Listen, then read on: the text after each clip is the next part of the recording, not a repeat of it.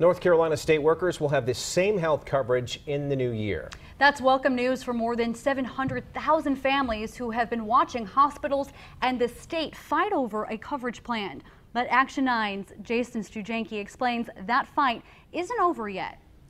Yeah, that's right. The good news is everyone in the Charlotte area who is on the state health plan, who uses Atrium or Novant doctors, will keep paying in-network prices for them moving forward. But the state treasurer, Dale Folwell, still worries about the long term situation. He runs the state health plan. He told me the plan spends more than $3 billion on medical bills each year. Folwell predicts the plan will run out of money in about four years, so he wanted and still wants a different arrangement. He was offering to reimburse Atrium and Novant almost double what Medicare pays them. He said this would save tax money and make health care more transparent.